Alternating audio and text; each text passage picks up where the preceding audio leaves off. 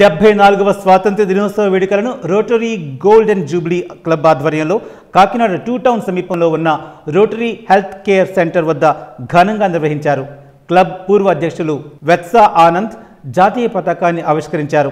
ఈ సందర్భంగా స్వాతంత్ర్య సమరయోధుల త్యాగాలను అందరికీ ఆయన గుర్తు చేశారు.